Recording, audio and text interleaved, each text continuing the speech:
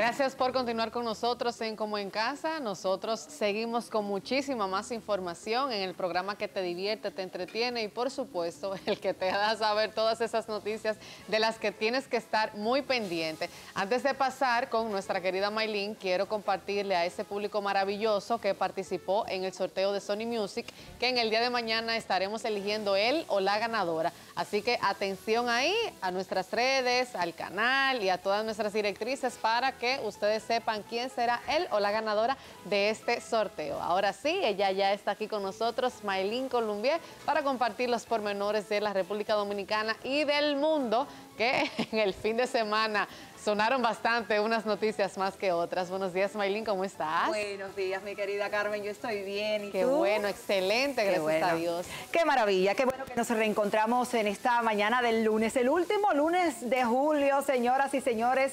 Así que yo los estoy invitando a vivir este inicio de semana y final de este mes de una manera espectacular y sobre todo informados. Y tenemos que hablar de las tendencias del fin de semana y son las elecciones en Venezuela porque eh, el centro Nacional Electoral de Venezuela finalmente dio como vencedor a Nicolás Maduro y tenemos que hacer un estudio, un resumen de todo lo que pasó, de cómo vivieron los venezolanos y el mundo este, eh, estas elecciones. Bueno, pues el Consejo Nacional Electoral lo proclamó a él vencedor con el 51.20% del total, aunque la oposición dice que realmente Edmundo González fue quien ganó. Aunque lo proclamaron ganador, Maduro habló de hackeo y lanzó insultos a todos los que estuvieron en su contra.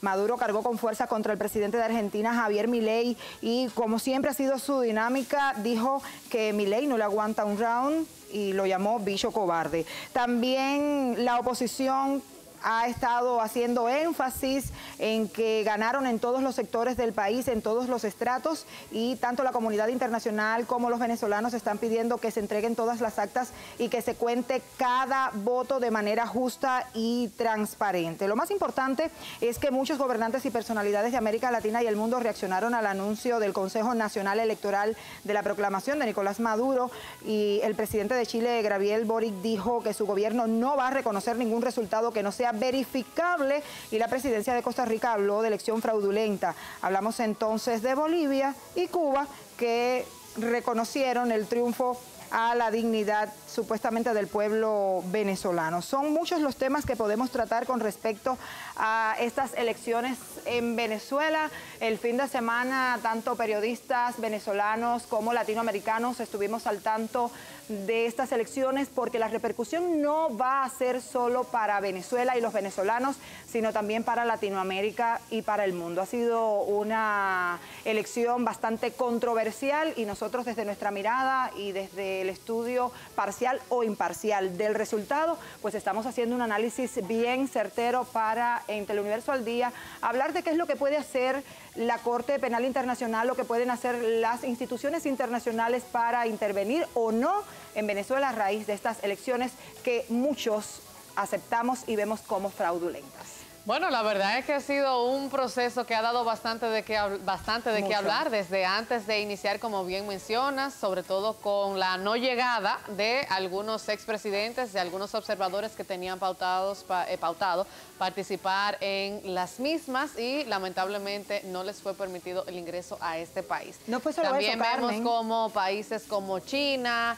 eh, Rusia, Irán, han ido eh, aceptando esta noticia como buena y válida. Hemos visto a otros organismos, a distintas personalidades también hablar de posibles irregularidades en el proceso de la búsqueda de transparencia siempre en estas y en todas las elecciones que se celebren no solamente en Venezuela, sino en cualquier parte del mundo. Bueno, tenemos que mencionar y tenemos que decir, hacer referencia a que Nicolás Maduro desde el año 2021 está enfrentando sanciones de la Corte Penal Internacional y para, para él era conveniente seguir como presidente porque así puede seguir gozando de su inmunidad parlamentaria y evitar estas sanciones que lo acusan en una primera instancia de actos de lesa humanidad. Nosotros podemos ver en los resultados que Nicolás Maduro ganó con un 51.20%, una cifra que nos deja ver que es mínima, llegando a la mitad de los electores que pudieron votar, porque lo, lo más interesante interesante de todo esto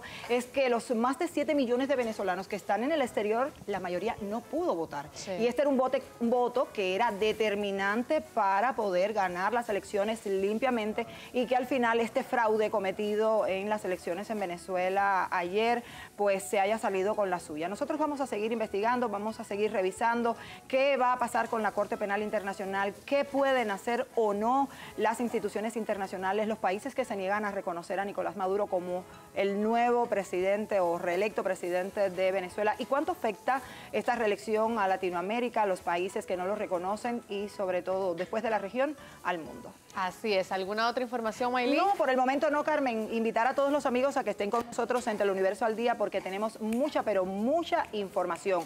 Nuestros periodistas ya están en las calles, así que recuerden a la una de la tarde con Juan Lamour y un equipo de periodistas de Teleuniverso, que sí, que tenemos periodistas en las calles. ¿eh?